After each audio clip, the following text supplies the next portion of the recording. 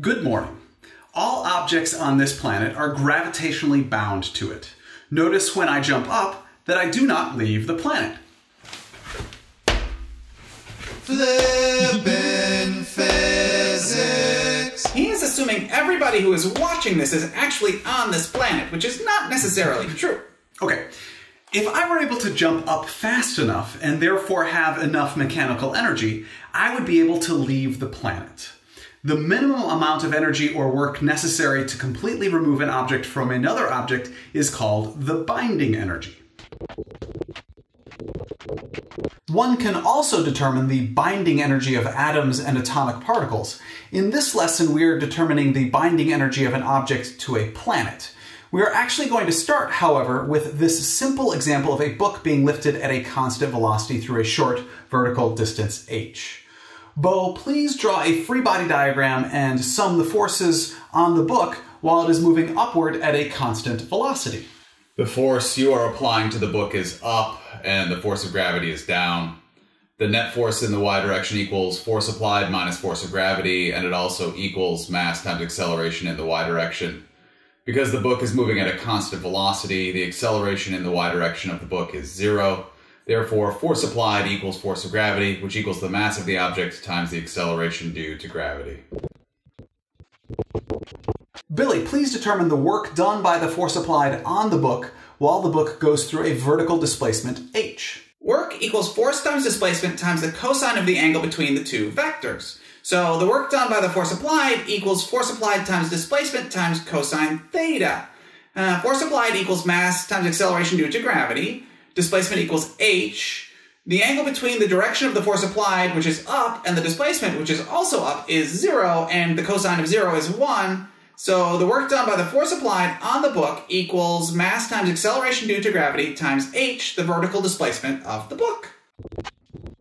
Notice mgh, or mass times acceleration due to gravity times vertical height above the horizontal zero line, equals the gravitational potential energy of an object in a constant gravitational field.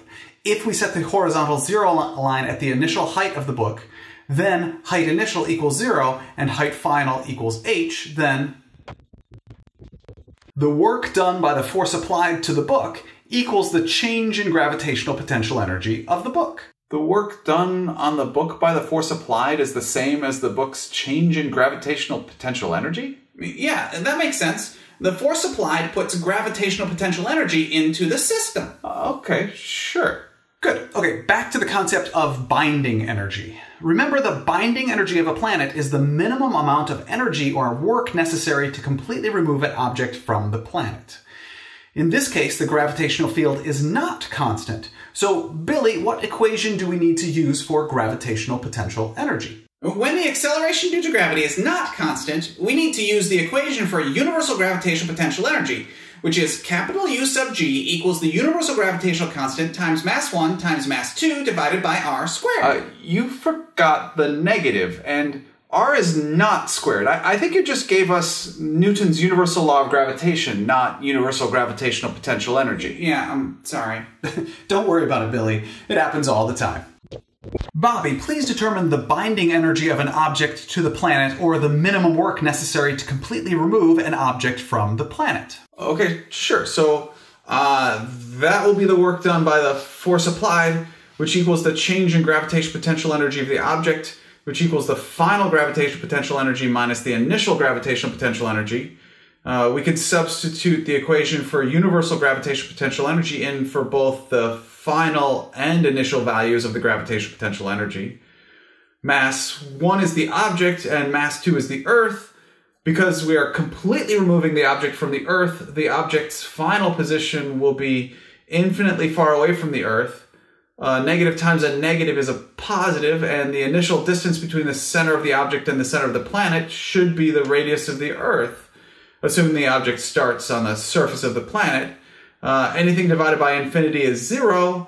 Uh, so the universal gravitational constant times the mass of the object times the mass of the Earth, all divided by the radius of the Earth, is the energy which binds the object to the Earth. So that is the amount of energy required to completely remove an object from the surface of planet Earth, or the binding energy between the Earth and the object. Are we not going to substitute in numbers? Numbers. So, no, we do not have a numbers dependency, so I think we'll just leave it right here with variables as our answer. Mr. P, Yes, Bo? Would it not have been easier to just say we are bringing the object to a point infinitely far from the planet where it will have no gravitational potential energy and no kinetic energy, so it will end with zero mechanical energy? If it has a mechanical energy on the surface of the planet of negative big G times mass 1 times mass 2, all divided by the distance between the centers of mass of the two objects, then that is how much energy we have to add to it to get it to zero mechanical energy. So that would be the binding energy. Sure, Bo. I think that's a great way of looking at it. So thank you. Uh, oh, and thank you for learning with me today. I enjoyed learning with you.